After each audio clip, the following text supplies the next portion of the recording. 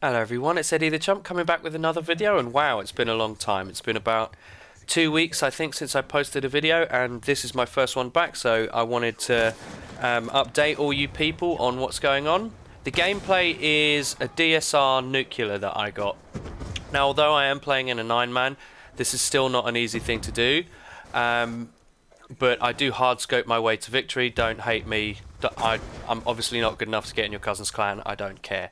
Anyway, um, this video is primarily going to be an update video about where I've been, what I've been doing, and also it's kind of sec. It, well, its main purpose really is to give a sh shout out to a good friend of mine, Jace McNasty. Um, Jace I met on Twitch.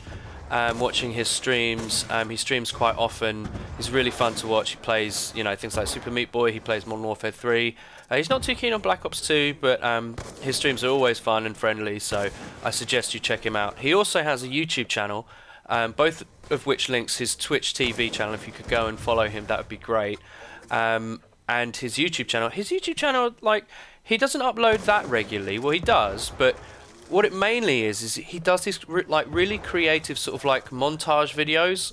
Um, it's they're hard to describe. It's kind of they're sort of like motivational videos. Uh, that's the best way I can describe it. Where he cuts footage of gameplay together and quotes from, you know, like either philosophy or or you know famous people talking, saying inspirational things. And I'm not doing it justice at all. I'm kind of like fumbling around, but it's they're, they're really good and I really enjoy them and I think you'll enjoy them too if you like my content. So go and check him out. That would be great.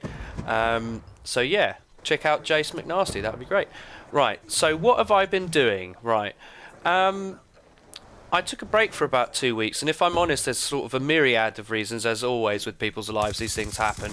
Loads of things conspire against you, because uh, the world is against me, and it's not really. But um, the first being is that my grandmother, who I'm, who I'm very fond of, has become quite, quite ill actually. So I had to go. She lives in Cornwall, so I had to go down to Cornwall, which if you, you know, well, you probably won't know, but where, from where I live is about 300 miles.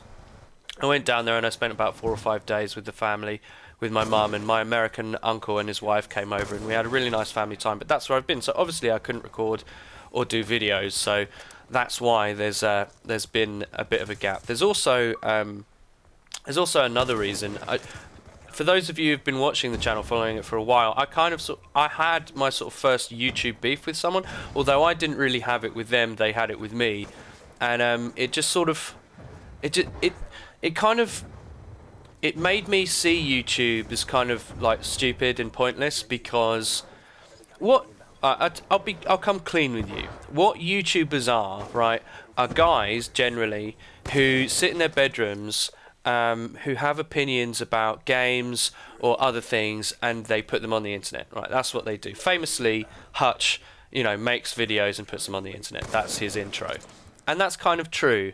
And the problem with that is that because you're doing that in relative isolation, you're doing it in your bedroom, and because you have total control, you can say whatever the fuck you want. It doesn't matter if it's true, it doesn't matter if it's exaggerated, it doesn't matter. You have no accountability apart from to yourself. And although that's great for freedom of expression, it also leads to things like beefs that are totally stupid, that don't need to happen in the first place.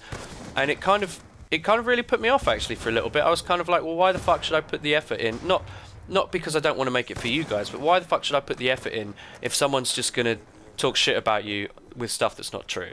So, fuck that. Um, I'm going to make videos, as I've always said, for me primarily. But it did. I'm not going to lie to you and say it didn't rob some of my motivation to do it. But I've got it back. I've had that break from Call of Duty. And I suppose the third aspect of that, of why I've taken a break, is thinking critically um, Black Ops 2 is a very well balanced game. Its connections can be very iffy, you know, and that's being generous. They can be absolutely shocking if I'm totally honest. And I have fibre optic. Um, you all know my thoughts about being made host. Sorry, I've got a bit of a cold at the moment. Um, but yeah, I, it's just not as fun. Even though I said, quite famous, I'm eating my own words now, humble pie, even though I said that Modern Warfare 3 was a failed game, um, I do find it much more fun than this one, and I don't think I'm alone in that. I think a lot of YouTubers have, have realised, you know, yes, it's got bad things like death streaks, and it did have lag comp, but in my experience, the lag comp in Black Ops 2 is is far worse and far more troublesome. Um, but yeah, I'm not going to desert Black Ops 2 because I do find it. It's not, it's not like I don't find it fun.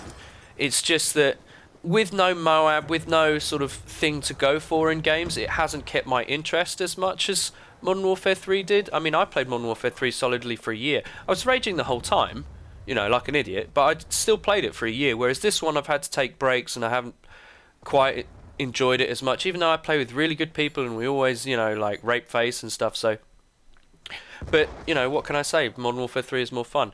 Um, so yeah, Sub Sunday is back now. So sorry for not putting a video up about it, but I had my reasons. I was away. I couldn't do anything about it.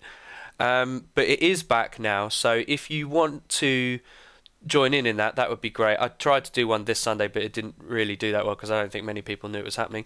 Um, but yeah, see you soon.